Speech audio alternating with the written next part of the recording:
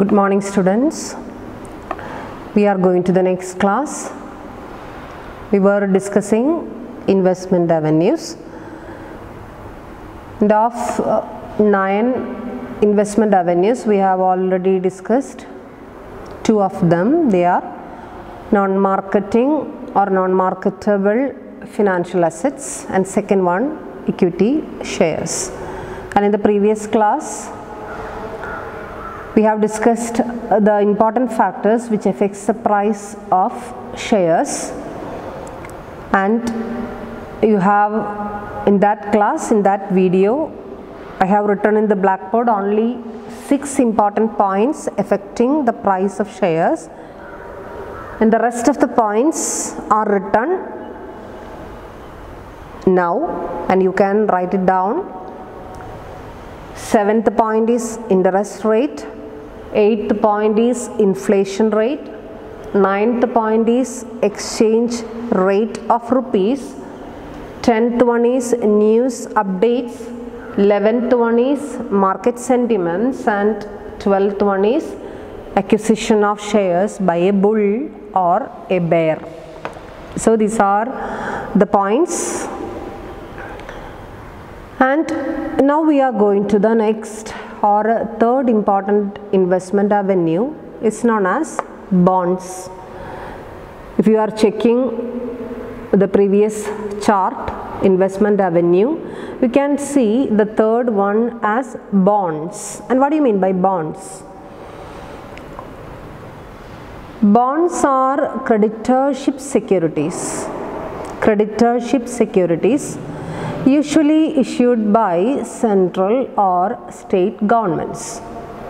So that is the peculiarity of bond. It is usually issued by central government or state governments or other types of local self governments municipalities corporations etc but uh, usually uh, along with bonds we students always uh, discuss the topic debentures as companies concerned more than bonds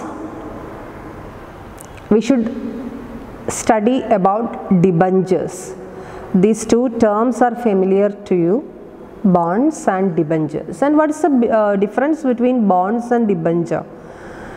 These two types of securities are creditorship securities. If we are issuing bonds to a person bond to a person that person will become a creditor to us. That is why it's called uh, he is called or that type of security is called as creditorship security.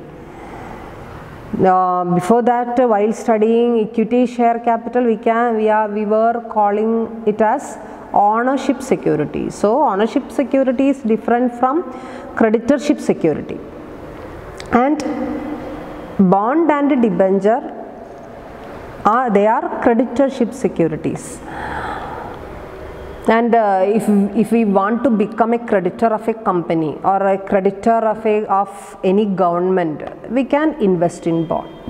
I am an investor and uh, i don't want to become an owner of a business an owner of a company. I just want to become a creditor creditor then I can invest in bond or debenture but you have to uh, differentiate between bond and debenture. Bond is always issued by governments any type of government but debenture is issued by companies ഡിബഞ്ചറും ബോണ്ടും ഏകദേശം same തന്നെയാണ്. അതിന്റെ ക്യാരക്ടേഴ്സൊക്കെ പരിശോധിക്കുന്ന സമയത്ത് ഏകദേശം same തന്നെയാണെങ്കിലും ഇതാണ് തമ്മിലുള്ള മെയിനായിട്ടുള്ള വ്യത്യാസം. ഡിബഞ്ചർ എന്ന് പറയുന്നത് ക്രെഡിറ്റർഷിപ്പ് സെക്യൂരിറ്റിയാണ് പക്ഷേ ഇഷ്യൂ ചെയ്യുന്നത് കമ്പനികളാണ്.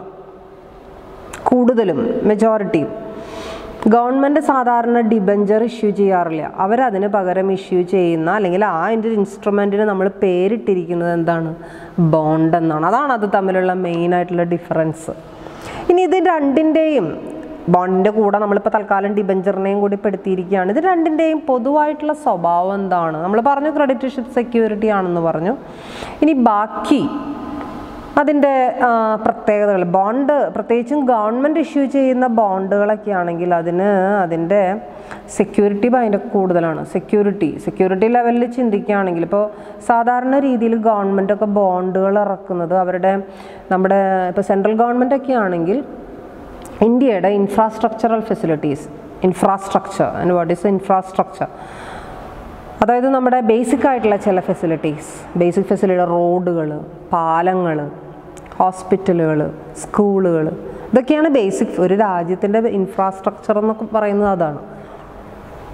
Metro railways okay over bridges ഇതൊക്കെയാണ് ഇൻഫ്രാസ്ട്രക്ചർ അപ്പോൾ ഈ ഇൻഫ്രാസ്ട്രക്ചറൽ ഫെസിലിറ്റീസ് ഡെവലപ്പ് ചെയ്യാൻ വേണ്ടി അവർക്ക് പൈസ വേണമല്ലേ? ഗവൺമെന്റിന് പല രീതിയിൽ അവർക്ക് റവന്യൂ കിട്ടുന്നുണ്ട്. ടാക്സിലൂടെയും ബാക്കിയുള്ള പല റവന്യൂസും അവർ ഏൺ ചെയ്യുന്നുണ്ട്. ഓക്കെ പക്ഷെ ഇതൊന്നും പലപ്പോഴും ഈ ഇൻഫ്രാസ്ട്രക്ചർ ഡെവലപ്പ് ചെയ്യാനായിട്ട് തികയണമെന്നില്ല. അപ്പോൾ ഇങ്ങനെ തികയാതെ വരുന്ന സമയങ്ങളിൽ അപ്പോഴാണ് അവർ എന്ത് ഇഷ്യൂ ചെയ്യുക ബോണ്ടുകൾ ഇഷ്യൂ ചെയ്യുക. അങ്ങനെ അവർ ഇഷ്യൂ ബോണ്ടുകൾ എന്നൊക്കെ പറഞ്ഞു കഴിഞ്ഞാൽ ലോങ് ടേം ക്യാപിറ്റലാണ് ഇന്ന് ഇഷ്യൂ ചെയ്ത് നാളെ തന്നെ അതിന്റെ റിഡംഷൻ നടക്കലല്ല ചെയ്യുന്നത്. നാളെ അത് ആ പൈസ തിരിച്ചു കൊടുക്കുകയല്ല ചെയ്യുക. ഒരു പത്ത് കൊല്ലം ചിലപ്പോൾ ഒരു ഇരുപത്തി ഒരു ഒരു പാലം പണിയണം. അല്ലെങ്കിൽ ഇപ്പോൾ ഒരു റോഡ് പണിയണം. അതിപ്പോൾ ഒരു മെട്രോ നമുക്കറിയാം കൊച്ചിയിൽ വന്നിട്ടുള്ള മെട്രോ റെയിൽവേ എത്രത്തോളം നാളെടുത്തിട്ടാണ് അതിന്റെ പണി കംപ്ലീറ്റ് ചെയ്തതെന്നുള്ളത് നമുക്ക് ഏകദേശം ഊഹിക്കാം. നമ്മുടെ കാലഘട്ടത്തിലായതുകൊണ്ട് നമുക്ക് ഏകദേശം അത് കണ്ട് മനസ്സിലാക്കിയവരാണ് നമ്മൾ അപ്പം അത്രയും കാലത്തേക്ക് നീളുന്ന ഒരു പ്രൊജക്റ്റ് ആകുമ്പോൾ തീർച്ചയായിട്ടും അത്രയും അധികം പൈസ നമുക്ക് അതിനാവശ്യം വരും. അങ്ങനെ പൈസ റേസ് ചെയ്യുന്ന സമയത്ത് it it will be termed as long term fund long term ഫണ്ടായിട്ട് വേണം നമ്മൾ അത് എന്ത് ചെയ്യാൻ? റേസ് ചെയ്യാൻ.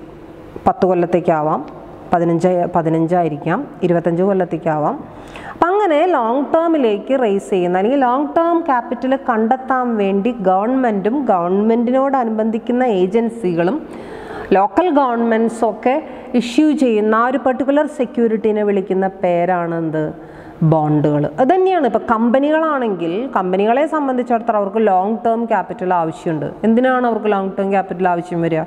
അവർക്ക് ഫർണിച്ചർ വാങ്ങിക്കണം അല്ലേ? ഫർണിച്ചർ അല്ലെങ്കിൽ മെഷീനറികൾ വാങ്ങിക്കണം. ഇപ്പോൾ ഒരു മാനുഫാക്ചറിങ് കമ്പനി ആണെങ്കിൽ അത്യാവശ്യം പ്ലാന്റ് അതിന്റെ പ്ലാന്റ് ലേ ഔട്ട് ശരിയാക്കാൻ വേണ്ടിയിട്ട് അവർക്ക് അത്യാവശ്യം കുറച്ച് മെഷീനറികൾ വേണ്ടി വരും അല്ലേ? അത് മെഷീനറി വാങ്ങിക്കുക എന്നൊക്കെ പറഞ്ഞു കഴിഞ്ഞാൽ ഒന്ന് രണ്ട് രൂപയ്ക്കൊന്നും കൊടുത്ത് വാങ്ങിക്കാൻ പറ്റുന്നൊരു സംഗതിയല്ല. നമ്മൾ മെഷീനറീനൊക്കെ ഏത് അസറ്റിന്റെ ഉള്ളിൽ ഉൾപ്പെടുത്തിയിട്ടുള്ളത്? ഫിക്സഡ് അസറ്റിന്റെ ഉള്ളിൽ ഉൾപ്പെടുത്തിയിരിക്കുന്നത് അല്ലേ? അപ്പോൾ ഈ ഫിക്സഡ് അസറ്റുകളൊക്കെ വാങ്ങിക്കുന്ന സമയത്ത് തീർച്ചയായിട്ടും ലോങ് ലോങ് ടേം ഫണ്ട് അതിനാവശ്യമുണ്ട്. അതിനൊന്നും ഇക്വിറ്റി ഷെയർ ഇഷ്യൂ ചെയ്തിട്ടോ പ്രിഫറൻസ് ഷെയർ ഇഷ്യൂ ചെയ്തിട്ടോ ഒന്നും അതിനുള്ള ഫണ്ട് നമുക്ക് കണ്ടെത്തുക എന്ന് പറയുന്നത് എളുപ്പമല്ല. അപ്പോൾ അങ്ങനെയുള്ള ലോങ് ടേം ഫണ്ട് കണ്ടെത്തണം എന്നുണ്ടെങ്കിൽ അവിടെയാണ് നമ്മൾ ഗവൺമെന്റ് ബോണ്ട് ഇറക്കി അത് മീറ്റ് ചെയ്തെങ്കിൽ കമ്പനികൾ അത് ഇറക്കുന്ന ലോങ് ടേം ഫണ്ട് കണ്ടെത്താൻ വേണ്ടിയിട്ട് ഇറക്കുന്ന സെക്യൂരിറ്റീനെ വിളിക്കുന്ന പേരാണെന്ത്? ഡിബഞ്ചറുകൾ നമുക്കറിയാം ഡിബഞ്ചറിന്റെ ബാക്കി പ്രത്യേകതകൾ ലോങ് ടേം ഫണ്ടാണെന്ന് നമ്മൾ പറഞ്ഞു. അതിന്റെ പ്രത്യേകത എന്ന് വെച്ച് കഴിഞ്ഞാൽ അത് സെക്യൂർഡ് ആയിട്ടുള്ള ഡിബഞ്ചറുകൾ ഉണ്ടാവും അൺസെക്യൂർഡ് ആയിട്ടുള്ള ഡിബഞ്ചറുകൾ ഉണ്ടാവും. You know what is secured debenture and unsecured debenture secured എന്ന് വെച്ച് കഴിഞ്ഞാൽ കമ്പനിയുടെ അസറ്റ് വെച്ചിട്ട് അതിന് സെക്യൂരിറ്റി കൊടുക്കുക. കമ്പനിയുടെ അസറ്റ് വെച്ചിട്ട് എന്തിന് സെക്യൂരിറ്റി കൊടുക്കുക? നമ്മുടെ ഡിബഞ്ചേഴ്സിന് സെക്യൂരിറ്റി കൊടുക്കുക. അതായത് എങ്ങനെയാണ് സെക്യൂരിറ്റി കൊടുക്കണേ? കമ്പനി അടച്ചുപൂട്ടുന്ന സമയത്ത് എടുത്തു കൊടുക്കാൻ പൈസ ഇല്ല എന്നുണ്ടെങ്കിൽ എന്ത് വിറ്റിട്ട് നമ്മൾ അവരുടെ പൈസ കൊടുക്കും? നമ്മുടെ അസറ്റ് വിറ്റിട്ട് നമ്മൾ ആരുടെ പൈസ കൊടുക്കും? Debenture ഹോൾഡേഴ്സിന്റെ that is secured creditors or secured debenture holders ഇനി ചിലർ അൺസെക്യൂർഡ് ഉണ്ട് കേട്ടോ അതായത് ഇഷ്യൂ ചെയ്യുന്ന സമയത്ത് തന്നെ നമ്മൾ പറയും. അങ്ങനെ ഒരു സെക്യൂരിറ്റി നമ്മൾ പ്രൊവൈഡ് ചെയ്യുന്നില്ല. സോ വൈൻഡിങ് അപ്പിന്റെ സമയത്ത് നമ്മുടെ കയ്യിലുണ്ടെങ്കിൽ കൊടുക്കും. അതല്ല വൈൻഡിങ് അപ്പിന്റെ പ്രൊസീജിയർ എങ്ങനെയാണോ വരണേ ചിലപ്പോൾ ലിക്വിഡേഷൻ നടക്കുന്നുണ്ടെങ്കിൽ ആ ലിക്വിഡേഷന്റെ സമയത്ത് ലിക്വിഡേറ്ററാണത് മീറ്റ് ചെയ്യുക. അത് നമ്മൾ നോക്കണ്ട. ദെൻ ഇനി അവരുടെ പ്രത്യേകത എന്താണെന്ന് വെച്ച് കഴിഞ്ഞാൽ അവർക്ക് കിട്ടും. ഷെയർ ഹോൾഡേഴ്സിന് കിട്ടുന്ന റിട്ടേണിന്റെ പേര് നമുക്കറിയാം. അത് ഡിവിഡന്റ് ആയിരുന്നു. അതേസമയം ഡിബഞ്ചർ ഹോൾഡേഴ്സിന് കിട്ടുന്ന അല്ലെങ്കിൽ ഗവൺമെന്റ് ഇറക്കുന്ന ബോണ്ടിന് കിട്ടുന്ന റിട്ടേൺ എന്ന് പറയുന്നത്. അതിനെ വിളിക്കുന്നത് ഡിവിഡന്റ് എന്നല്ല. അതിന്റെ പേര് നിങ്ങൾക്കറിയാം. ദറ്റ് ഈസ് ഇൻട്രസ്റ്റ് ഇൻട്രസ്റ്റ് എന്നാണ് അതിനെ വിളിക്കുക. ഇനി ഈ ഡിബഞ്ചർ ഹോൾഡേഴ്സിനെ സംബന്ധിച്ചിടത്തോളം ബോണ്ട് ഹോൾഡേഴ്സിനെ സംബന്ധിച്ചിടത്തോളം they earns a fixed interest fixed issue ചെയ്യുന്ന സമയത്ത് തന്നെ പറയും ഇത്രയും percentage two point five percentage interest will be given to you അല്ലെങ്കിൽ to will be given to that class of debentures എന്ന് പറയുകയാണെങ്കിൽ അത് നിർബന്ധമാണ് അത് കൊടുത്തോളണം എന്ന് നിർബന്ധമാണ്. അത് എവിടെ നിന്ന് എടുത്ത് കൊടുത്താലും നമുക്ക് പ്രശ്നമില്ല. നമ്മൾ കമ്പനി ചിലപ്പോൾ നഷ്ടത്തിലാവും ഓടുന്നത്. അത് വിഷയമുള്ള കാര്യമല്ല. ഡിബഞ്ചർ ഹോൾഡേഴ്സിന് ഇൻട്രസ്റ്റ് അതുകൊണ്ടാണ് നമ്മൾ അവരെ പേരിട്ട് വിളിച്ചിരിക്കുന്നത്. That is they are our creditors നമ്മളിപ്പോൾ ഒരു ബാങ്കിൽ നിന്ന് ലോൺ എടുത്തു കഴിഞ്ഞാൽ നമ്മൾ എന്ത് ചെയ്യണം? നമ്മൾ നമ്മൾ ലോൺ എടുത്തത് എന്താവശ്യത്തിന് വേണ്ടിയിട്ടാണ്. ആവശ്യം അവിടെ വിജയകരമായോ വിജയ നല്ല ഇതിലാണോ പോണേ നല്ല പ്രോഫിറ്റബിൾ ആയിട്ടാണോ പോണേ എന്നുള്ളത് ആർക്ക് അന്വേഷിക്കേണ്ട കാര്യമില്ല. ബാങ്കിന് അന്വേഷിക്കേണ്ട കാര്യമില്ല. ബാങ്കിന് എന്ത് കിട്ടിയാൽ മതി. അവർക്ക് അവരുടെ ഇൻട്രസ്റ്റ് കിട്ടിയാൽ മതി. ലൈക്ക് വൈസ് അവരെ പോലെ തന്നെയാണ് ശരിക്കും പറഞ്ഞു കഴിഞ്ഞാൽ നമ്മുടെ കമ്പനിയുടെ ഡിബഞ്ചർ ഹോൾഡേഴ്സ് എന്ന് പറയുന്നത്. അപ്പോൾ അവർക്ക് ഫിക്സഡ് ആയിട്ടുള്ള ഇൻട്രസ്റ്റ് കിട്ടും. അത് ചില പലതരത്തിലുള്ള ഡിബഞ്ചേഴ്സ് ഉണ്ട് വെറൈറ്റി ഡിബഞ്ചേഴ്സ് ഉണ്ട് റെഡീമബിൾ ആയിട്ടുള്ള ഡിബഞ്ചേഴ്സ് ഉണ്ട് within a time after the expiry of a stipulated time ചിലപ്പോൾ അവരുടെ പൈസ നമ്മൾ തിരിച്ചു കൊടുത്തു എന്ന് വരും ഡിബഞ്ചർ വാങ്ങിച്ചു എന്ന് വരും. സോ അങ്ങനെയുള്ള ഡിബഞ്ചേഴ്സ് ഉണ്ട്. ചിലപ്പോൾ ലൈഫ് ടൈം കമ്പനിയുടെ ലൈഫ് ടൈം വരെ നീണ്ടുപോകുന്ന ഡിബഞ്ചേഴ്സ് ഉണ്ട്. വൈൻഡിങ് അപ്പിന്റെ സമയം വരെ നീണ്ടുപോകും അപ്പോൾ പല തരത്തിലുള്ള ഡി ബോണ്ടുകളായാലും ഡിബഞ്ചറുകളായാലും പലതരത്തിലുണ്ട്. ഇൻട്രസ്റ്റ് ഇല്ലാത്ത ഡിബഞ്ചറുകളുണ്ട് ഇല്ല ഇൻട്രസ്റ്റ് ഇല്ലാത്ത ബോണ്ടുകളുണ്ട് zero coupon bonds naked debentures എന്നൊക്കെ പറഞ്ഞ് പലതരത്തിലുള്ള ഡിബഞ്ചറുകളും പലതരത്തിലുള്ള ബോണ്ടും എങ്കിലും ഇതിന്റെയൊക്കെ പൊതുവായിട്ടുള്ള ആദ്യത്തെ ഡിഫറൻസ് എന്ന് പറയുന്നത് സാധാരണ ഗവൺമെന്റ് ഇറക്കുന്ന ക്രെഡിറ്റർഷിപ്പ് സെക്യൂരിറ്റീസിനെയാണ് നമ്മൾ ബോണ്ടുകളെന്ന് വിളിക്കുന്നതെന്നും കം- അത് സെയിം ക്യാരക്ടറുള്ള സെക്യൂരിറ്റി കമ്പനികൾ ഇറക്കുകയാണെങ്കിൽ അതിനെ ഡിബഞ്ചർ എന്ന് വിളിക്കുന്നു ഫിക്സഡ് ആയിട്ടുള്ള ഇൻട്രസ്റ്റ് അവർക്ക് ഏൺ ചെയ്യാനായിട്ട്. അപ്പോൾ ഒരു വലിയ റിസ്ക് ഒന്നും ഇല്ലാണ്ട് പോകണം എന്ന് തോന്നുന്ന ഒരു ഒരു ഇൻവെസ്റ്ററെ സംബന്ധിച്ചിടത്തോളം. എനിക്ക് ഒരു എല്ലാ വർഷത്തിലും ഒരു ഒരു സർട്ടൺ പെർസെന്റേജ് ഇൻട്രസ്റ്റ് എനിക്ക് കിട്ടിയാൽ മതി. ഇനി അതിന്റെ ക്യാപിറ്റൽ കിട്ടുന്ന സമയത്ത് എനിക്ക് വലിയ കുഴപ്പമൊന്നുമില്ലാതെ അത് പ്രശ്നങ്ങളൊന്നുമില്ലാതെ എനിക്ക് ക്യാപിറ്റൽ തിരിച്ചു കിട്ടും വേണം എന്ന് ചിന്തിക്കുന്നൊരു ഒരു വ്യക്തിയെ സംബന്ധിച്ചിടത്തോളം ഷെയറിൽ ഇൻവെസ്റ്റ് ചെയ്യാൻ താല്പര്യമില്ലാത്തൊരു വ്യക്തിയെ സംബന്ധിച്ചിടത്തോളം അയാളെ സംബന്ധിച്ചിടത്തോളം അയാൾക്ക് ഏറ്റവും അയാൾക്ക് പ്രിഫർ ചെയ്യാൻ സാധിക്കുന്നത് ഒന്നില്ലെങ്കിൽ ബോണ്ട് അല്ലെങ്കിൽ ഡിബഞ്ചറാണ് അപ്പോൾ വീണ്ടും പറയണു ബോണ്ടിനെയും ഡിബഞ്ചറിനെയും നമ്മൾ ഒരുമിച്ച് കൂട്ടി പഠിക്കുന്നത് വേറൊന്നും കൊണ്ടല്ല. അതിന് ഏകദേശം ഒരേ സ്വഭാവത്തിലുള്ള ആൾക്കാരായതുകൊണ്ട് ഇൻവെസ്റ്റ്മെന്റ് ടൈപ്പ് ടൈപ്സ് ആയതുകൊണ്ടാണ് ഒരുമിച്ച് നമ്മൾ എന്ത് ചെയ്യുന്നത് അവരെക്കുറിച്ച് ആ ഇൻവെ ടൈപ്പ് ഓഫ് ഇൻവെസ്റ്റ്മെന്റിനെ കുറിച്ച് പഠിക്കുന്നത്. So that's about bonds and debentures and നമ്മൾ പറഞ്ഞു ഗവൺമെന്റ് ഇഷ്യൂ ചെയ്യുന്ന സമയത്ത് ട്രഷറി ബോണ്ട് എന്ന് പറഞ്ഞിട്ടൊരു ബോണ്ട് ഉണ്ട്. അത് സെൻട്രൽ ഗവൺമെന്റ് സ്റ്റേറ്റ് ഗവൺമെന്റ് മാത്രം ഇഷ്യൂ ചെയ്യുന്ന ബോണ്ടുകളാണ് okay and likewise local self governments മുനിസിപ്പാലിറ്റീസും കോർപ്പറേഷൻസും ഇഷ്യൂ ചെയ്യുന്ന വേറെ ടൈപ്പ് ബോണ്ടുകളുണ്ട് അപ്പോൾ പല അതിന്റെ ഉദ്ദേശത്തിനനുസരിച്ച് അതിന്റെ ടൈപ്പിനനുസരിച്ച് അതിന്റെ ക്യാരക്ടറിനനുസരിച്ച് പലതരം ബോണ്ടുകളുണ്ട് പലതരം ഡിബഞ്ചറുകളുണ്ട് പൊതുവായിട്ടുള്ള സ്വഭാവമാണ് നമ്മൾ എന്ത് ചെയ്തത് പറഞ്ഞത്. സോ ഇൻവെസ്റ്റർക്ക് വേണമെന്നുണ്ടെങ്കിൽ എവിടെ ഇൻവെസ്റ്റ് ചെയ്യാം? ബോണ്ടുകളിലോ ഡിബഞ്ചറുകളിലോ ഇൻവെസ്റ്റ് ചെയ്യാം. Okay then we are going to the next next ഞാൻ അതിന്റെ ചാർട്ട് നിങ്ങളുടെ ഏറ്റവും ആദ്യത്തെ ഇൻവെസ്റ്റ്മെന്റ് അവന്യൂവിന്റെ ആദ്യത്തെ ചാർട്ട് നോക്കുക. അതിൽ ഒമ്പതെണ്ണമാണ് നമ്മൾ പറഞ്ഞിരിക്കണേ. അതിൽ മൂന്നെണ്ണമാണ് ഇപ്പോൾ നമ്മൾ എക്സ്പ്ലെയിൻ ചെയ്ത് കഴിഞ്ഞത്. And we are going to the fourth one that is money market instruments money market കേൾക്കാത്ത പുതിയ വാക്കൊന്നുമല്ല മണി മാർക്കറ്റ് എന്ന് പറയുന്നത് അല്ലേ? എവിടെയാണ് നിങ്ങളത് കേട്ടത് മണി മാർക്കറ്റിനെ കുറിച്ച് കേട്ടത് എവിടെയാണ് you know that our financial market is divided into two financial market is divided into two and they are first one is money market and second one is capital market money market and capital market Then what is the peculiarity of money market and capital? What is the difference between money market and the capital market? The only difference is that in money market, the investors will transact only short term instruments, short term, short term instrument. This money market is also called as short term, short term market. മണി മാർക്കറ്റിന് വിളിക്കുന്ന വേറൊരു പേരാണ് short term market അതായത് short term instruments കൈകാര്യം ചെയ്യുന്ന വിൽപ്പനയും വാങ്ങലും നടക്കുന്ന മാർക്കറ്റിന് വിളിക്കുന്ന പേരാണ് മണി മാർക്കറ്റ്. അപ്പോൾ എന്താണ് ഈ ഷോർട്ട് ടേം ഷോർട്ട് ടേം എന്ന് പറയുമ്പോൾ up to one year up to one year ഒരു വർഷം വരെ ഉള്ള കാലാവധിയുള്ള instruments we can explain what are those instruments എങ്കിലും മനസ്സ് ആദ്യം നിങ്ങൾ മനസ്സിലാക്കി വയ്ക്കുക. ഒരു വർഷം കാലാവധി. നിങ്ങൾക്ക് പലർക്കും അറിയാവുന്ന ഒരു നിങ്ങൾ പ്ലസ് ടുവിനൊക്കെ പഠിച്ചിട്ടുള്ള ഒരു ടോപ്പിക് തന്നെയാണ് മണി മാർക്കറ്റ് എന്ന് പറയുന്നത്. ഏതൊക്കെയാണ് മണി മാർക്കറ്റ് ഇൻസ്ട്രുമെന്റ്സ് എന്ന് പറയുന്നത്? അപ്പോൾ ഈ മണി മാർക്കറ്റിന്റെ പ്രത്യേകത ഇത്രയേ ഉള്ളൂ.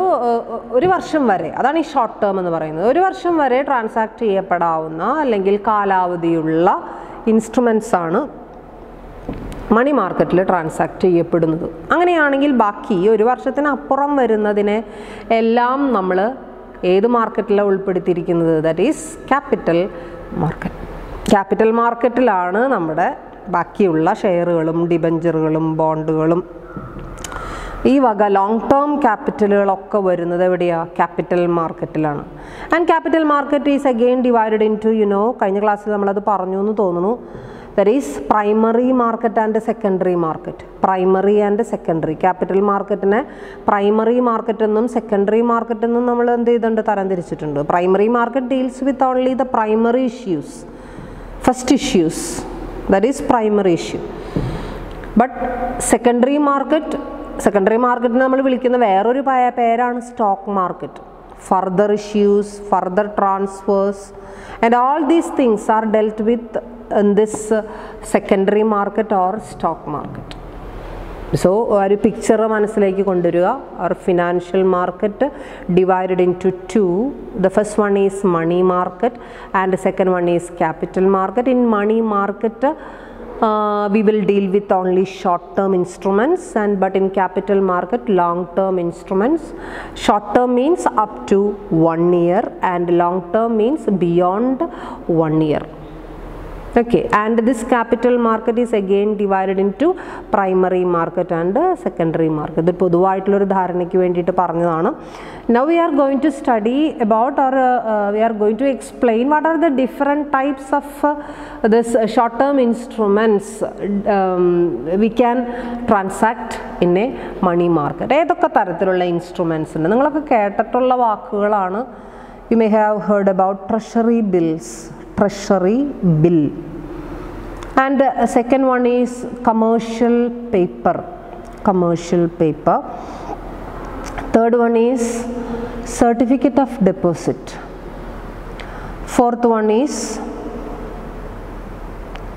that is um, commercial bills commercial bills. And last one fifth one is called money. So these are the five important instruments. There are so many other instruments also, but here we are going to discuss only five of them. And uh, the most important of them, the first one is treasury bill. I, I will just put it in the board.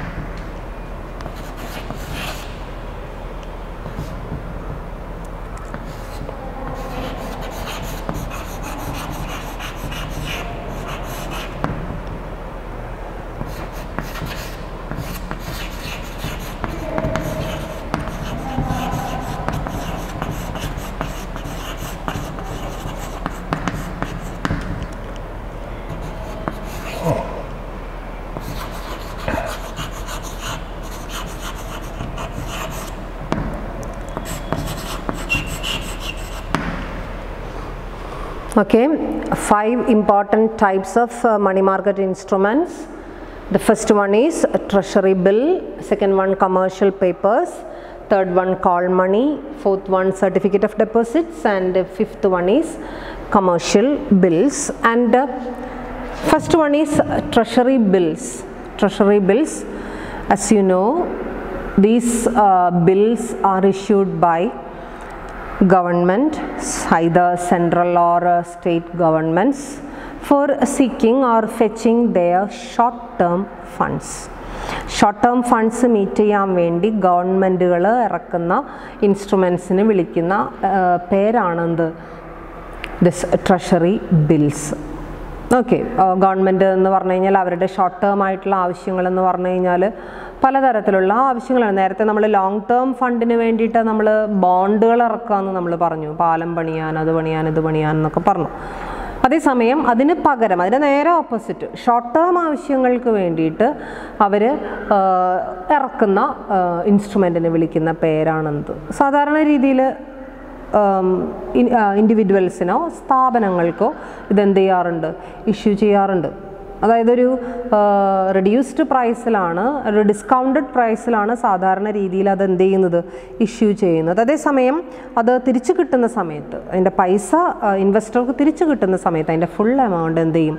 തിരിച്ചു കിട്ടും. That difference is known as the interest on that bill ഇപ്പോൾ for example example പറയുകയാണെന്നുണ്ടെങ്കിൽ നമ്മൾ ഇപ്പോൾ one lakh റുപ്പിയുടെ treasury bill അത് issue ചെയ്യുന്ന സമയത്ത് നമ്മൾ കൊടുക്കേണ്ടത് ഇപ്പോൾ ഒരു നയന്റി ഫൈവ് തൗസൻഡ് റുപ്പീസ് ബില്ലുമ്മ എഴുതിയിട്ടുള്ളത് വൺ ലാക്ക് റുപ്പീസ് അതേസമയം ഇൻവെസ്റ്റർ കൊടുക്കേണ്ടത് നയന്റി ഫൈവ് തൗസൻഡ് റുപ്പീസ് ഇനി ഒരു ആറ് മാസം അപ്പോൾ ആറ് മാസത്തെ ബില്ലാണെന്ന് നമ്മൾ പറഞ്ഞു ഷോർട്ട് ടേം ആണ്. വൺ ഇയറാണ് മാക്സിമം നമുക്ക് പറ്റുള്ളൂ.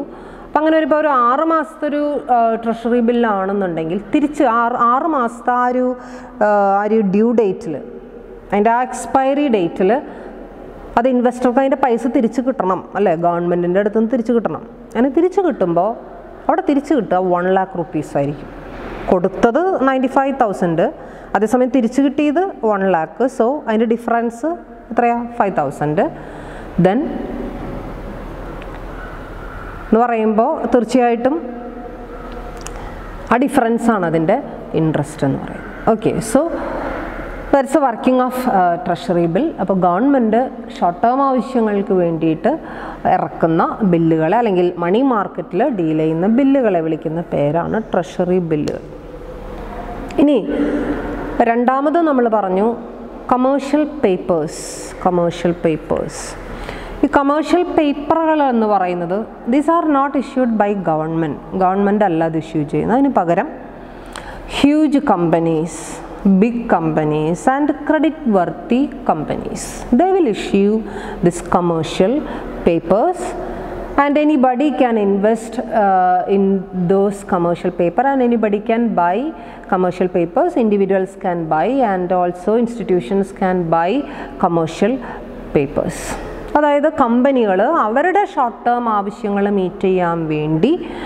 ഇറക്കുന്ന ഇൻസ്ട്രുമെൻസിനെ മണി മാർക്കറ്റ് ഇൻസ്ട്രുമെന്റിന് വിളിക്കുന്ന പേരാണ് കമേഴ്ഷ്യൽ പേപ്പറുകൾ ഇനി അതിന്റെ പ്രത്യേകത എന്താ വെച്ചാൽ നമ്മൾ ഒന്ന് രണ്ട് രണ്ട് മൂന്ന് കണ്ടീഷൻസ് അവിടെ പറഞ്ഞിരുന്നു. അതായത് the companies should be huge enough the same time they should be big enough large amount of operations at the same time ഒരു ഒരു കണ്ടീഷൻ കൂടെ അവിടെ പറഞ്ഞിട്ടുണ്ട്. അതാണ് ഏറ്റവും ഇമ്പോർട്ടന്റ് ആയിട്ടുള്ള condition credit worthy companies. Credit worthy and what do you mean by credit worthy credit worthy means the capacity of the company to uh, uh, to give back the credit uh, credit already raised from outsiders അത് അത് തിരിച്ചു കൊടുക്കാനുള്ളതായിട്ടുള്ള അവരുടെ capacity അതിനെ വിളിക്കുന്ന പേരാണ് credit worth അങ്ങനെ creditworthiness ഉള്ള കമ്പനീസിന് മാത്രമേ കമേഴ്ഷ്യൽ പേപ്പേഴ്സ് ഇഷ്യൂ ചെയ്യാനായിട്ട് സാധിക്കുള്ളൂ. And not for long term purposes only for short term purposes at the same time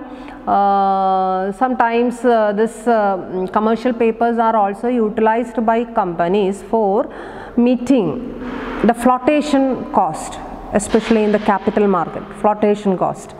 You know what is flotation cost. For, for, for example if we are going to issue share if you are going to issue debenture ഷെയറും ഡിബഞ്ചറൊക്കെ issue ചെയ്യുന്നതിന് മുമ്പ് prospectus prepare ചെയ്യണം.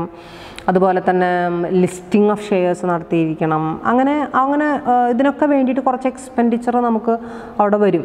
ആ എക്സ്പെൻഡിച്ചറിന് വിളിക്കുന്ന പേരാണ് flotation cost അപ്പോൾ ഈ ഫ്ലോട്ടേഷൻ കോസ്റ്റ് മീറ്റ് ചെയ്യാൻ വേണ്ടി മാത്രം ചിലപ്പോൾ ചില കമ്പനികൾ കമേഴ്ഷ്യൽ പേപ്പറുകൾ എന്ത് ചെയ്യാറുണ്ട്? ഇറക്കാറുണ്ട്. അപ്പോൾ അതിനൊരു പ്രത്യേക പേരും പറയും. That that money or that type of capital is also known as bridge capital bridge അതായത് ക്യാപിറ്റൽ മാർക്കറ്റും മണി മാർക്കറ്റും തമ്മിലുള്ള ഒരു link so it's called as bridge capital capital മാർക്കറ്റിൽ ഉണ്ടാവാൻ സാധ്യതയുള്ള ഫ്ലോട്ടേഷൻ കോസ്റ്റിനെ മീറ്റ് ചെയ്യാൻ വേണ്ടിയിട്ട് മണി മാർക്കറ്റിനെ നമ്മൾ എന്ത് ചെയ്യുക? യൂട്ടിലൈസ് ചെയ്യുക then it is called as bridge capital just ഒന്ന് നോട്ട് ചെയ്ത് വെച്ചോ. നിങ്ങളുടെ നോട്ട്ബുക്കിൽ നിങ്ങളൊക്കെ അറിഞ്ഞിരിക്കേണ്ട വസ്തുതകളാണ്. അറിയുമായിരിക്കാം നിങ്ങൾക്ക് പലർക്കും. എങ്കിലും ഇതുപോലുള്ള terms as a particularly as a commerce student ഇതൊക്കെ നിങ്ങൾ അറിഞ്ഞിരിക്കേണ്ടതാണ്. So that is bridge capital so the second one is commercial paper issued by companies credit worthy companies. So the first one you have studied treasury bill and second one commercial papers and third one is call money, call money. Then what is call money? You have heard about call money, okay. Uh, call money while allotting shares to shareholders so the the company can uh, call money as first call second call എന്നൊക്കെ പറഞ്ഞിട്ട് നിങ്ങൾ കേട്ടിട്ടുണ്ടായിരിക്കും ആ call money അല്ല നമ്മളിവിടെ ഉദ്ദേശിക്കുന്നത്.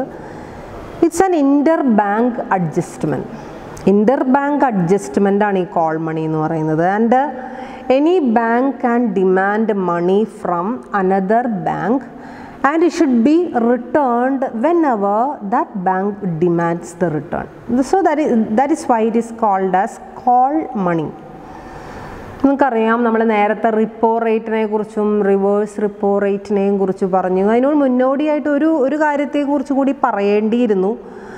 That is that is C R R C R R എന്ന് പറയുന്ന സംഭവത്തെ കുറിച്ച് നിങ്ങൾ കേട്ടിട്ടുണ്ടായിരിക്കും. That is credit reserve ratio it's a ratio maintained by by the commercial banks in reserve bank of India reserve bank നമ്മുടെ world ബാങ്കാണെന്ന് നമുക്കറിയാം. ആ world ബാങ്കിൽ മെയിന്റെയിൻ ചെയ്യുന്ന മിനിമം ഒരു ക്രെഡിറ്റ് അതിനെ വിളിക്കുന്ന പേരാണ് ക്രെഡിറ്റ് റിസർവ് റേഷ്യോ പലപ്പോഴും അത് it it will be changed according to the changes in the economic situation അത് നമ്മൾ ഇത് ചെയ്യണ്ട. എങ്കിൽ കൂടിയും അവിടെ പറയുന്ന കാര്യം ഈ ഒരു സി ആർ ആറിനനുസരിച്ച് പലപ്പോഴും നിങ്ങൾ കേട്ടിട്ടുണ്ടാവും S L R statutory liquidity ratio ഇതൊക്കെ കേട്ടിട്ടുണ്ടാവും. അപ്പോൾ ഇതിനൊക്കെ അനുസരിച്ച് ബാങ്കിന്റെ കയ്യിൽ പല ഷെഡ്യൂൾഡ് ബാങ്കിന്റെയും കമേഴ്ഷ്യൽ ബാങ്കുകളുടെയും കയ്യിൽ അവൈലബിൾ ആയിട്ടുള്ള ക്യാഷിൽ വ്യത്യാസം വരും. ലിക്വിഡ് ആയിട്ടുള്ള ക്യാഷിന് വ്യത്യാസം വരും. അവരുടെ കയ്യിൽ അത്യാവശ്യം ക്യാഷ് ഉണ്ടെങ്കിൽ മാത്രമേ അവർക്ക് പുറമേ ഇപ്പോൾ ഒരു അത്യാവശ്യം ഒരു ലോൺ വന്നിട്ട് ഒരാൾ വന്ന് ചോദിച്ചു കഴിഞ്ഞാൽ കൊടുക്കണം എന്നുണ്ടെങ്കിൽ കയ്യിൽ പൈസ വേണം. ഈ കയ്യിലുള്ള പൈസ പലപ്പോഴും ഈ സി ആർ ആറിന്റെ റേറ്റിനനുസരിച്ച് വ്യത്യാസം വരും. അപ്പം അങ്ങനെ വരുമ്പോൾ ചിലപ്പോൾ ബാങ്കിന്റെ കയ്യിൽ പൈസ ഉണ്ടാവില്ല പൈസ ഇല്ലാതെ വരുമ്പോൾ അവർക്ക് അവർക്ക് തൊട്ടടുത്തുള്ള അല്ലാന്നുണ്ടെങ്കിൽ അവർക്ക് പരിചയമുള്ള ബാങ്കിനോട് എന്ത് ചെയ്യാം? പൈസ ചോദിക്കാം. ഇപ്പോൾ പതിനായിരം രൂപയുടെ ലിക്വിഡ് ക്യാഷ് ഇപ്പോൾ തൽക്കാലം ബാങ്കിലില്ല. പെട്ടെന്നാണ് ആവശ്യം വന്നത്. സോ തൊട്ടപ്പുറത്തെ ബാങ്കിൽ ചെന്ന് നമുക്ക് ചോദിക്കാം. അവർ നമുക്ക് പൈസ തരും. പക്ഷെ ഒരു കണ്ടീഷൻ ഉണ്ട്. എന്ത് ചെയ്യണം? ആ ബാങ്ക് അത് എപ്പോഴാണോ തിരിച്ചു ചോദിക്കുന്നത്? ചിലപ്പോൾ പിറ്റേ ദിവസം തന്നെ അവർ തിരിച്ചു ചോദിച്ചു എന്ന് വരും. അത് തിരിച്ചു കൊടുക്കണം അതാണ് കോൾ മണി എന്നുള്ള പേര് അതിന് വരാൻ കാരണം. സോ ഷോർട്ട് ടേം അഡ്ജസ്റ്റ്മെന്റ് ആണ്. പക്ഷെ ആര് തമ്മിലാണ് ആ അഡ്ജസ്റ്റ്മെന്റ് കമ്പനിയാണോ? അവിടെ ഗവൺമെന്റ് ആണോ? പാർട്ടി എന്നുള്ളത് നമ്മൾ അവിടെയാണ് നമ്മൾ ശ്രദ്ധിക്കേണ്ടത്.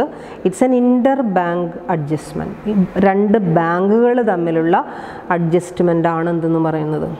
ദസ് കോൾ മണി എന്ന് പറയുന്നത്. It's also a money market instrument and next one is നാലാമത്തത് അവിടെ എഴുതിയിരിക്കുന്നത് that is certificate of deposits certificate of deposits And the next type of ins- uh, investment or money market instrument uh, is uh, the f- that, that means the fourth one is certificate of deposits and uh, which party issues certificate of deposits that's the important thing the certificates of deposits are issued by again like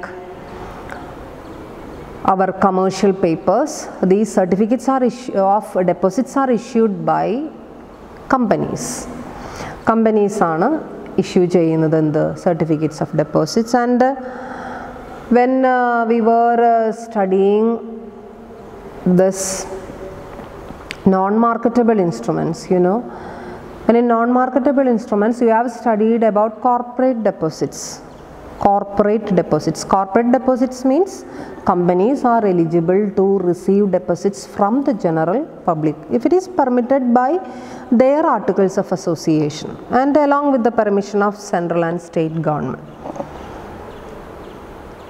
and അതാണ് ഇവിടെ money market instrument ആയിട്ട് if it is done for short term purpose that is known as certificate of deposit the investors will issue certificate of deposits and it's an important instrument certificate of deposit ഇൻവെസ്റ്റേഴ്സിന് issue ചെയ്യും. സാധാരണ individual ഇൻവെസ്റ്റേഴ്സിനേക്കാളും കൂടുതൽ institutional ഇൻവെസ്റ്റേഴ്സിനെയാണ് നമ്മൾ അവിടെ എന്ത് ചെയ്യുന്നത് ഉദ്ദേശിച്ചത്. Short term ആയിട്ട് ഇപ്പോൾ കമ്പനിക്ക് പൈസ കണ്ടെത്തേണ്ട ഒരു ഒരു അടുത്തൊരു ആറ് മാസത്തേക്ക് നമുക്ക് സെയിൽസ് ഉണ്ടാവാനായിട്ടുള്ള സാധ്യത വളരെ കുറവാണ്. So we we need working capital then ആ ഒരു വർക്കിംഗ് ക്യാപിറ്റലിന്റെ ആവശ്യം കാണാൻ വേണ്ടി ഒരു ആറ് മാസത്തേക്ക് കാണാൻ വേണ്ടിയിട്ട് നമുക്ക് എന്ത് അക്സെപ്റ്റ് ചെയ്യാം?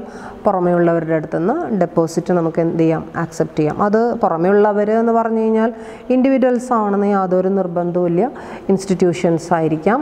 അവരുടെ നിന്ന് നമുക്ക് നമുക്ക് ഡെപ്പോസിറ്റ്സ് അക്സെപ്റ്റ് ചെയ്യുകയും ആ അക്സെപ്റ്റ് ചെയ്യുന്ന കൊടു സമയത്ത് കൊടുക്കുന്ന ഡെപ്പോസിറ്റ് ആ ഒരു റെസീറ്റിനെ അല്ലെങ്കിൽ ആ ഒരു ഡോക്യുമെന്റിനെ സർട്ടിഫിക്കറ്റിനെയാണ് സർട്ടിഫിക്കറ്റ് ഓഫ് ഡെപ്പോസിറ്റ് എന്ന് നമ്മൾ എന്ത് ചെയ്യുന്നത് പറയുന്നത്. And after the stipulated time this amount will be returned to the investors and അത് അത് കഴിഞ്ഞ് കഴിഞ്ഞാൽ അതിന്റെ ആ ഒരു വാലിഡിറ്റി സർട്ടിഫിക്കറ്റിന്റെ വാലിഡിറ്റി എന്ത് ചെയ്യും ചെയ്യുന്നു? കഴിയുകയും ചെയ്യുന്നു. So that is certificate of deposit it is issued by companies and the one more instrument is there. The fifth one is that is commercial bill commercial bill. And commercial bills are usually in the form of promissory note promissory note you know what is promissory note and when commercial bills or promissory notes will be issued by again ആരാത് commercial bills issue ചെയ്യ ചെയ്യുന്നുണ്ടാവുക കമ്പനികൾ അതുപോലുള്ള business സ്ഥാപനങ്ങൾ issue ചെയ്യുന്ന ഒരു short term ഇൻസ്ട്രുമെന്റിനെ വിളിക്കുന്ന പേരാണെന്ത് commercial bill ഇപ്പോൾ ഞാനൊരു സ്ഥാപനം നടത്തിക്കൊണ്ട് പോകുന്നു. എന്റെ കയ്യിൽ നിന്ന് ഒരു ഒരു വ്യക്തി എന്റെ കയ്യിൽ നിന്ന് കുറച്ച് സാധനങ്ങൾ എന്ത് ചെയ്തു? വാങ്ങിച്ചു കൊണ്ടുപോയി തൽക്കാലം അയാളുടെ കയ്യിൽ എനിക്ക് തരാൻ പൈസയില്ല. അപ്പോൾ നമ്മൾ ആ ട്രാൻസാക്ഷനിൽ നിന്ന് വിളിക്കുക. ഇറ്റ്സ് എ ക്രെഡിറ്റ് ട്രാൻസാക്ഷൻ അല്ലേ? പൈസ തരാതെ അയാൾ എന്ത് ചെയ്യുന്നു? വാങ്ങിക്കൊണ്ടുപോകുന്നു അയാൾ നമ്മളോട് പറഞ്ഞു ഒരു ഒരു അഞ്ച് മാസം കഴിയുമ്പോൾ അല്ലെങ്കിൽ ഒന്നും വേണം മൂന്ന് മാസം കഴിയുമ്പോൾ എനിക്ക് പൈസ എന്ത് ചെയ്യാം? തരാം എന്നുള്ളൊരു വാഗ്ദാനത്തിന്റെ പുറത്താണ് ആ ഒരു ട്രാൻസാക്ഷൻ ഞാൻ എന്ത് ചെയ്തിരിക്കുന്നത്? ചെയ്തിട്ടുള്ളത്. അല്ലേ? തരാം എന്ന് അയാൾ വാക്കാലെ പറഞ്ഞു പോയത് കൊണ്ട് കാര്യമുണ്ടോ? കാര്യമില്ല. അപ്പം എന്ത് ചെയ്യും? അയാളൊരു പ്രോമിസറി നോട്ട് എഴുതും. പ്രോമിസറി നോട്ട് അതായത് മൂന്ന് മാസത്തിനുള്ളിൽ ഞാൻ ഇത്രയും പൈസ ഇത്രയും ഗുഡ്സിന്റെ ഇത്രയും പൈസ ഞാൻ എന്ത് ചെയ്തുകൊള്ളാം തന്നുകൊള്ളാം എന്നും പറഞ്ഞിട്ടൊരു പ്രോമിസറി നോട്ട് എഴുതും. ആ പ്രോമിസറി നോട്ടിനെയാണ് നമ്മൾ എന്തെന്ന് വിളിക്കുന്നത്? കമേഴ്ഷ്യൽ ബില്ല് എന്ന് വിളിക്കുന്നത്. ഇനി എന്നെ സംബന്ധിച്ചിടത്തോളം എന്റെ പേരാണ് ഡ്രോയർ. ആ പ്രോമിസറി നോട്ട് എഴുതിയ വ്യക്തി ആരാണ്? ഞാനാണ്. അതേസമയം അതിൽ ആർ ആരുടെ ഇൻഡറ്റഡ്നെസ്സിനെ കുറിച്ചിട്ടാണ് എഴുതിയിട്ടുള്ളത്? മറ്റേ ആ വാങ്ങിക്കൊണ്ടുപോയ വ്യക്തിയുടെ ഡെറ്റിനെ കുറിച്ചിട്ടാണ് അവിടെ എഴുതിയിട്ടുള്ളത്. സോ എന്നെ ഡ്രോയർ എന്നും അയാളെ നിന്നും വിളിക്കും ഡ്രോയി എന്നും വിളിക്കും. ഓക്കെ അതിന്റെ ടെക്നിക്കൽ ഇതിലേക്ക് നമുക്ക് പോകേണ്ട ആവശ്യമില്ല. എങ്കിലും ചിലപ്പോൾ എന്നെ സംബന്ധിച്ചിടത്തോളം പ്രോമിസറി നോട്ട് എന്റെ കയ്യിൽ ഇരിക്കുന്നുണ്ട്. ആ ബില്ല് എന്റെ കയ്യിൽ ഇരിക്കുന്നുണ്ട്. അതേസമയം എനിക്ക് മൂന്ന് മാസം വരെ കാത്തിരിക്കാനുള്ളൊരു സമയമില്ല. അവൾ മൂന്ന് മാസം കഴിയുമ്പോൾ പൈസ കൊണ്ടുവന്ന് തരും. ശരിയൊക്കെ തന്നെയാണ്. പക്ഷേ അതിനുള്ള സമയം എനിക്കില്ല എന്നുണ്ടെങ്കിൽ എനിക്ക് എന്ത് ചെയ്യാം? നേരെ ബാങ്കിലേക്ക് പോവാം. ബാങ്കിൽ കൊണ്ടുപോയിട്ട് എനിക്ക് ആ ബില്ല് എന്ത് ചെയ്യാൻ പറ്റും? ഡിസ്കൗണ്ട് ചെയ്യാൻ പറ്റും. ഡിസ്കൗണ്ടിങ് എന്ന് വെച്ച് കഴിഞ്ഞാൽ എന്താ ഡിസ്കൗണ്ടിങ് ഡിസ്കൗണ്ടിങ് എന്ന് വെച്ച് കഴിഞ്ഞാൽ ഇത്രയേ ഉള്ളൂ. ബാങ്ക് എന്ത് ചെയ്യും? ആ ക്രെഡിറ്റർക്ക് ആ വ്യക്തിക്ക് പകരം ആ ഡെറ്റർക്ക് പകരം ആരാണോ സാധനങ്ങൾ ക്രെഡിറ്റിന് വാങ്ങി കൊണ്ടുപോയത് ആ വ്യക്തിക്ക് പകരം ആ പ്രോമിസറി നോട്ട് ബാങ്ക് കയ്യിൽ വാങ്ങിച്ചു വയ്ക്കും. ബാങ്ക് ഈ വ്യക്തിക്ക് എന്ത് കൊടുക്കും? പൈസ കൊടുക്കും. ഇനി സാധനങ്ങൾ വാങ്ങിച്ചു കൊണ്ടുപോയ ആളുടെ അടുത്ത് നിന്നും ക്രെഡിറ്റിന് വാങ്ങിച്ചു കൊണ്ടുപോയ വ്യക്തിയുടെ കയ്യിൽ നിന്നും ബാങ്ക് ആയിരിക്കും ഇനി എന്ത് ചെയ്യാൻ പോകുന്നത്? പൈസ ഈടാക്കാൻ പോകുന്നത്. ഇനി നമ്മളെ എന്നെ നമ്മളെ സംബന്ധിച്ചിടത്തോളം ഇനി വിഷയമൊന്നുമില്ല. നമുക്ക് കിട്ടാനുള്ള പൈസ എന്ത് ചെയ്തു? കിട്ടി. അതേസമയം അവിടെ ഒരു ചെറിയൊരു ഡിസ്കൗണ്ട് ആരെടുത്തുണ്ടാവും ചെറിയൊരു കമ്മീഷൻ ആരെടുത്തുണ്ടാവും ബാങ്ക് എടുത്തുണ്ടാവും അത് ഇപ്പോൾ അഞ്ഞൂറ് രൂപയുടെ ട്രാൻസാക്ഷൻ ആണെങ്കിൽ ബില്ലിൽ അഞ്ഞൂറ് രൂപയായിരിക്കും. പക്ഷേ എനിക്ക് കിട്ടുക ചിലപ്പോൾ നാനൂറ്റി അമ്പത് രൂപയെ കിട്ടുള്ളൂ. ബാക്കി അമ്പത് രൂപ ആര് കമ്മീഷനായിട്ട് എടുത്തിട്ടുണ്ടാവും? ബാങ്ക് കമ്മീഷനായിട്ട്. അതുകൊണ്ടാണ് അതിനൊരു ഡിസ്കൗണ്ടിങ് എന്നുള്ള ഒരു പ്രോസസ്സായിട്ട് നമ്മൾ എന്ത് ചെയ്യുന്നത്? കാണുന്നത്. ഓക്കെ അപ്പോൾ ഇതാണ് കമേഴ്ഷ്യൽ ബില്ലുകളുടെ അപ്പോൾ ഇത് ഷോർട്ട് ടേം ആയിട്ടുള്ള ആവശ്യങ്ങൾക്ക് വേണ്ടിയിട്ടാണ് അത് എന്ത് ചെയ്യുന്നത്? ഉപയോഗിക്കുന്നത്. നമുക്ക് പലപ്പോഴും അറിയാം നമുക്ക് ഒരു എല്ലായ്പ്പോഴും ചിലപ്പോൾ ക്യാഷ് ബേസിസിൽ ട്രാൻസാക്ഷൻസ് നടത്താൻ നമുക്ക് സാധിക്കണമെന്നില്ല. അപ്പോൾ അങ്ങനെയുള്ള സമയത്താണ് ഇതുപോലുള്ള കമേഴ്ഷ്യൽ ബില്ലുകളും പ്രോമിസറി നോട്ടുകളും ഒക്കെ നമ്മൾ എഴുതുന്നത്. കമേഴ്ഷ്യൽ ബില്ലുകൾ എന്ന് പറയുമ്പോൾ മെയിൻലി അതിന്റെ ഫോമാണ് പറയുന്നത്. പ്രോമിസറി നോട്ടിന്റെ ഫോമിലാണ് അത് എഴുതുക. അപ്പം അങ്ങനെ എഴുതുന്ന സമയത്ത് തീർച്ചയായിട്ടും അത് നമ്മുടെ ട്രാൻസാക്ഷൻ സെയിൽസ് ഇൻക്രീസ് ചെയ്യാനും അത് നല്ലതാണ്. എപ്പോഴും ക്യാഷിനെ വിൽക്കുള്ളൂ എന്ന് പറഞ്ഞു കഴിഞ്ഞാൽ ചിലപ്പോൾ നമ്മുടെ സെയിൽസ് ഇൻക്രീസ് ആയെന്ന് വരില്ല. അല്ലേ? അപ്പോൾ അങ്ങനെയുള്ള സമയത്ത് സെയിൽസ് ഇൻക്രീസ് ആവണം. അതോടൊപ്പം തന്നെ നമുക്ക് നമ്മുടെ പൈസ കിട്ടുകയും വേണം. ഇത് രണ്ടും നമ്മുടെ ഉദ്ദേശമാണ്. അപ്പോൾ ഈ രണ്ട് ഷോർട്ട് ടേം ആയിട്ടുള്ള ആവശ്യങ്ങളും ഷോർട്ട് ടേം ഷോർട്ട് ടേം എന്ന് മാത്രം പറയാൻ പറ്റില്ല. അതിലൂടെ ലോങ് ടേമിലേക്കാണ് നമ്മൾ പോകുന്നത്. രണ്ട് ആവശ്യങ്ങളും നമുക്ക് നിറവേറ്റാനായിട്ട് സാധിക്കും എന്തിലൂടെ. അപ്പോൾ യൂഷ്വലി ബിസിനസ് സ്ഥാപനങ്ങളാണ് എന്ത് ഇഷ്യൂ ചെയ്യുന്നത്? ഈ കമേഴ്ഷ്യൽ പേ കമേഴ്ഷ്യൽ ബില്ലുകളും പ്രോമിസറി നോട്ടുകളും ഇഷ്യൂ ചെയ്യുന്നു so these are the five important types important types of money market instruments നമ്മൾ പറഞ്ഞു. ട്രഷറി ബില്ലുകളെ കുറിച്ച് നമ്മൾ പറഞ്ഞു. ട്രഷറി ബില്ലുകൾ ഇഷ്യൂ ചെയ്യുന്നത് ഗവൺമെന്റാണ് അവിടെ individual as well as institutional ഇൻവെസ്റ്റേഴ്സിനെ നമ്മൾ ഉദ്ദേശിക്കുന്നുണ്ട്. രണ്ടാമതായിട്ട് നമ്മൾ പറഞ്ഞത് കമേഴ്ഷ്യൽ പേപ്പേഴ്സിനെ കുറിച്ചിട്ടാണ്. കമേഴ്ഷ്യൽ പേപ്പേഴ്സ് ഇഷ്യൂ ചെയ്യുന്നത് വലിയ വലിയ കമ്പനികളും വലിയ വലിയ ഓർഗനൈസേഷൻസും ആണ്. ക്രെഡിറ്റ് വർത്തി ഓർഗനൈസേഷൻസാണ് അവരുടെ ഷോർട്ട് ടേം ആവശ്യങ്ങൾക്ക് വേണ്ടിയിട്ട് ഇഷ്യൂ ചെയ്യുന്നത്. ഇനി മൂന്നാമത് നമ്മൾ പറഞ്ഞ സർട്ടിഫിക്കറ്റ് ഓഫ് ഡെപ്പോസിറ്റ്സിനെ കുറിച്ചിട്ടാണ്. അവിടെയും കമ്പനികൾ തന്നെയാണ് ഇഷ്യൂ ചെയ്യുന്നത് സർട്ടിഫിക്കറ്റ് ഓഫ് ഡെപ്പോസിറ്റ്സ് അതേസമയം ഡെപ്പോസിറ്റ് വാങ്ങുന്നതിന് കൊടുക്കണ സർട്ടിഫിക്കറ്റാണത് സർട്ടിഫിക്കറ്റ് ഓഫ് ഡെപ്പോസിറ്റ് എന്ന് പറയുന്നത്. ഇനി നാലാമത് കോൾ മണിയെക്കുറിച്ച് നമ്മൾ പറഞ്ഞു. കോൾ മണി എന്ന് വെച്ച് കഴിഞ്ഞാൽ ബാങ്കുകളുടെ പ്രത്യേകിച്ചും കമേഴ്ഷ്യൽ ബാങ്കുകളുടെ ഷോർട്ട് ടേം ആവശ്യങ്ങൾക്ക് വേണ്ടി അവർ ഇഷ്യൂ ചെയ്യുന്ന ഇൻസ്ട്രുമെന്റാണ് കോൾ മണി എന്ന് പറയുന്നത്. അതൊരു തരം അഡ്ജസ്റ്റ്മെന്റ് ആണ്. രണ്ട് ബാങ്കുകൾ തമ്മിലുള്ള അഡ്ജസ്റ്റ്മെന്റിനെയാണ് കോൾ മണി എന്ന് നമ്മൾ പറയുന്നത്. പ്രത്യേകിച്ചും അത് അവരുടെ കയ്യിലുള്ള ലിക്വിഡ് ക്യാഷിന്റെ അവൈലബിലിറ്റിക്ക് അനുസരിച്ച് പൈസ അത്യാവശ്യം വേണ്ടി വരുന്നൊരു സന്ദർഭത്തിലാണ് പലപ്പോഴും മറ്റ് ബാങ്കുകളുടെ അടുത്തുനിന്ന് സഹായം ചോദിക്കുകയും ആ സഹായം ചോദിച്ചു കഴിഞ്ഞാൽ അത് യൂട്ടിലൈസ് ചെയ്ത് കഴിഞ്ഞാൽ വിതിൻ ഒരു ഷോർട്ട് പീരീഡിനുള്ളിൽ അത് തിരിച്ച് അവരാവശ്യപ്പെടുന്ന സമയത്ത് തിരിച്ചു കൊടുക്കുക എന്നുള്ളൊരു സംവിധാനം. അതാണ് കോൾ മണി എന്ന് പറയുന്നത്. അഞ്ചാമതായിട്ട് നമ്മൾ കമേഴ്ഷ്യൽസ് യൂഷ്വലി നമ്മൾ കേട്ട് പരിചയമുള്ള പല ഓർഗനൈസേഷനുകളിൽ നമ്മൾ കേൾക്കുന്ന പ്രോമിസറി നോട്ടിനെ കുറിച്ചിട്ടാണ് നമ്മൾ കണ്ടത്.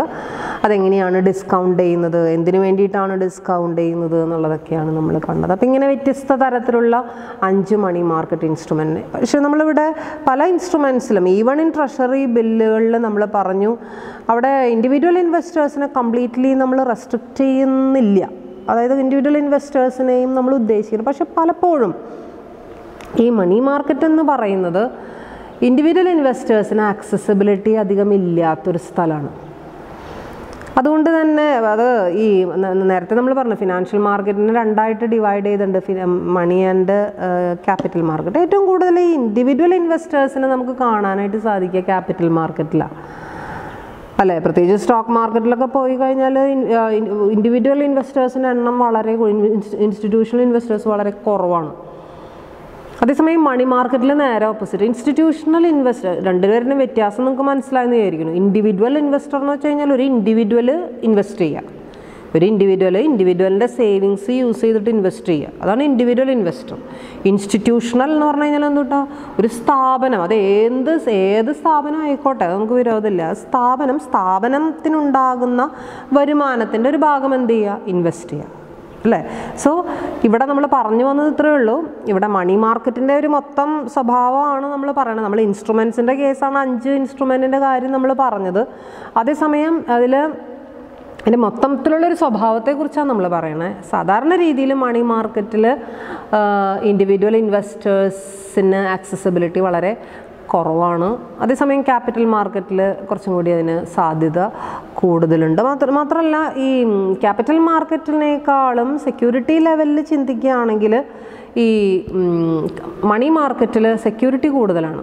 മിക്കവാറും ഇപ്പോൾ പ്രത്യേകിച്ച് ട്രഷറി ബില്ലെന്നൊക്കെ പറയുമ്പോൾ ഗവൺമെന്റ് ഇഷ്യൂ ചെയ്യുന്ന സെക്യൂരിറ്റി ബില്ലുകളെന്നൊക്കെ പറയുമ്പോൾ നമുക്ക് തീർച്ചയായിട്ടും അറിയാം. അതിന് സെക്യൂരിറ്റി പോലും പത്ത് കൊല്ലം കഴിഞ്ഞ് കഴിഞ്ഞാൽ തിരിച്ച് കിട്ടുന്നുള്ളത് ഉറപ്പാണ്. ഹൈ ലെവൽ സെക്യൂരിറ്റി ആണ് അവിടെ ഉണ്ടാവുക. നമുക്ക് ഉറപ്പ് പറയാനായിട്ട് സാധിക്കും. അല്ല? മാത്രമല്ല ഇപ്പോൾ കമേഴ്ഷ്യൽ പേപ്പേഴ്സ് കമേഴ്ഷ്യൽ ബില്ലുകൾ ഒരുവിധം ക്രെഡിറ്റ് വർത്തി ആയിട്ടുള്ള കമ്പനികൾ മാത്രമേ പലപ്പോഴും അങ്ങനെയുള്ള ഡോക്യുമെന്റുകൾ അങ്ങനെയുള്ള ഇൻസ്ട്രുമെന്റുകളൊക്കെ എന്ത് ചെയ്യുള്ളൂ?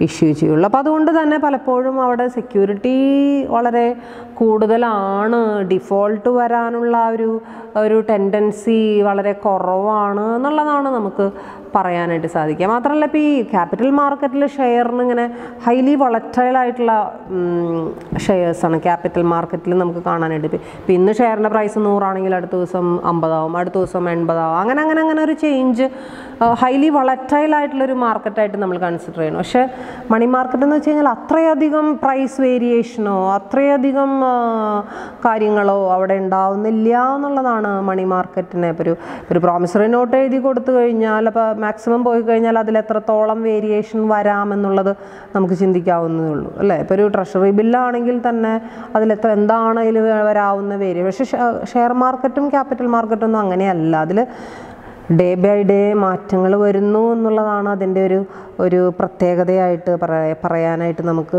സാധിക്കുക. അതുപോലെ തന്നെ ഇപ്പോൾ മണി മാർക്കറ്റിനെ സംബന്ധിച്ചിടത്തോളം വെൽത്ത് ക്രിയേഷൻ എന്നുള്ളൊരു സംഭവം അവിടെ നടക്കില്ല. വെൽക്ക് ഇപ്പോൾ നമ്മൾ കഴിഞ്ഞ ക്ലാസ്സിൽ പറഞ്ഞില്ലേ ക്യാപിറ്റൽ ഗെയിൻസിനെ കുറിച്ച് നമ്മൾ പറഞ്ഞിരുന്നു. എന്താണ് ക്യാപിറ്റൽ ഇപ്പം ഞാൻ നൂറ് രൂപ ഇന്ന് ഇൻവെസ്റ്റ് ചെയ്തു. നാളെ എനിക്ക് നൂറ്റമ്പത് രൂപയായി. മറ്റന്നാൾ ഇരുന്നൂറ് രൂപയായി. അങ്ങനെ ഒരു മൂന്ന് കൊല്ലം കഴിഞ്ഞപ്പോൾ എനിക്കൊരു അതൊരു അഞ്ഞൂറ് രൂപയായിട്ട് തിരിച്ച് കിട്ടി. അതാണ് ക്യാപിറ്റൽ ക്രിയേഷൻ അല്ലെങ്കിൽ വെൽത്ത് ക്രിയേഷൻ ക്യാപിറ്റൽ ഗെയിൻസ് എന്നൊക്കെ നമുക്ക് പറയാനായിട്ട് സാധിക്കുക. പക്ഷെ അങ്ങനൊരു ഒരു പ്രോസസ്സൊന്നും മണി മാർക്കറ്റിൽ സംഭവിക്കുന്നില്ല എന്നുള്ളതാണ് അതിന്റെ ഒരു കാര്യം. കാരണം നമുക്കറിയാം വളരെ ഷോർട്ട് ടേം ആയിട്ടുള്ള ഇൻസ്ട്രുമെന്റുകളെ ഇവിടെ ട്രാൻസാക്ട് ചെയ്യപ്പെടുന്നുള്ളൂ. ഇപ്പോൾ വെൽത്ത് ക്രിയേറ്റ് ചെയ്യുക ക്യാപിറ്റൽ ക്രിയേറ്റ് ചെയ്യുക എന്നൊക്കെ പറയുമ്പോൾ അതിന് ഒരു ആവശ്യം ഒരു ഒരു അത്യാവശ്യത്തിനൊരു ലോങ് ടേം അതിന് ആവശ്യമുണ്ട്. അപ്പോൾ മണി മാർക്കറ്റ് നമുക്കറിയാം. ഒരു ഒരു വർഷം വരെ ഇപ്പോൾ എന്തോരം ചേഞ്ചസ് നടക്കാൻ സാധ്യതയുണ്ടെന്ന് നമുക്കറിയാം. അപ്പോൾ അതിന്റെ ഉള്ളിലുള്ള ഒരു കളി അത് മാത്രം അവൾ അത് മാത്രമാണ് അവിടെ സംഭവിക്കുന്നുള്ളൂ മണി മാർക്കറ്റിൽ സംഭവിക്കുന്നുള്ളൂ. അപ്പോൾ വലിയ കാര്യമായിട്ടുള്ള വെൽത്ത് ക്രിയേഷനുകളോ ക്യാപിറ്റൽ ഗെയിനുകളോ ഈ മണി മാർക്കറ്റിൽ സംഭവിക്കുന്നില്ല എന്നുള്ളതാണ് അവിടെ അവിടെ നമുക്ക് മനസ്സിലാക്കേണ്ടത്. And This uh, a money market is an ideal choice for an investor. If he wants to park his money only for a short term short ടേമിലേക്ക് മാത്രമേ പാർക്ക് ചെയ്യാനായിട്ട് ബ്ലോക്ക് ചെയ്യാനായിട്ട് ഉദ്ദേശിക്കുന്നുള്ളൂവെങ്കിൽ തീർച്ചയായിട്ടും മണി മാർക്കറ്റ് ഒരു ഏറ്റവും സേഫ് ആയിട്ടുള്ളൊരു മാർക്കറ്റായിട്ട് നമുക്ക് consider ചെയ്യാം. അങ്ങനെ അങ്ങനെയുള്ള ഷോർട്ട് ടേം പാർക്കിങ്ങിന് ഇഷ്ടപ്പെടുന്ന ഇൻവെസ്റ്റേഴ്സിനെ സംബന്ധിച്ചിടത്തോളം മണി മാർക്കറ്റ് എന്ന് പറയുന്നത് അത് ഏത് ഇൻസ്ട്രുമെന്റ് ആയിക്കൊള്ളട്ടെ എന്ന് പറയുന്നത് ഏറ്റവും നല്ലൊരു ചോയ്സ് ആയിട്ട് നമുക്ക് എന്ത് ചെയ്യാനായിട്ട് സാധിക്കും കരുതാനായിട്ട് സാധിക്കും എന്നുള്ളതാണ് നമുക്ക് പറയാനായിട്ട് സാധിക്കുക. So that's about money market instruments and നമുക്കിനി പോകാനുള്ളത് അടുത്ത ഇൻവെസ്റ്റ്മെന്റ് അവന്യൂവിലേക്കാണ് അത് അടുത്ത ഇൻവെസ്റ്റ്മെന്റ് അവന്യൂ എന്ന് പറയുന്നത് മ്യൂച്വൽ ഫണ്ടുകളാണ് മ്യൂച്വൽ ഫണ്ടിനെ കുറിച്ച് നിങ്ങൾ പലപ്പോഴും അപ്പോൾ നമ്മൾ പറഞ്ഞു വന്നത് നമ്മളിനി അടുത്തത് കടക്കാനുള്ളത് മ്യൂച്വൽ ഫണ്ടിലേക്കാണ്. സോ ഈ ഒരു ക്ലാസ്സിൽ നമുക്കത് മ്യൂച്വൽ ഫണ്ടിനെ കുറിച്ച് എക്സ്പ്ലെയിൻ ചെയ്ത് കംപ്ലീറ്റ് ചെയ്യാൻ സാധിക്കാത്തത് കൊണ്ട് നമ്മൾ ജസ്റ്റ് ഇൻവെസ്റ്റ്മെന്റ് അവന്യൂവിന്റെ നാല് ടോപ്പിക്കുകളാണ് ഇപ്പോൾ നമ്മൾ പഠിച്ചു കഴിഞ്ഞത്. ഒന്ന് നോൺ മാർക്കറ്റബിൾ ഇൻസ്ട്രുമെന്റ്സ് രണ്ട് ഇക്വിറ്റി ഷെയർസ് മൂന്ന് ബോൺസ് നാല് മണി മാർക്കറ്റ് ഇൻസ്ട്രുമെന്റ്സ് ഇതിനെക്കുറിച്ച് ഏകദേശം ഒരു ഐഡിയ നിങ്ങൾക്ക് കിട്ടിയിട്ടുണ്ടാവും എന്ന് വിചാരിക്കുന്നു.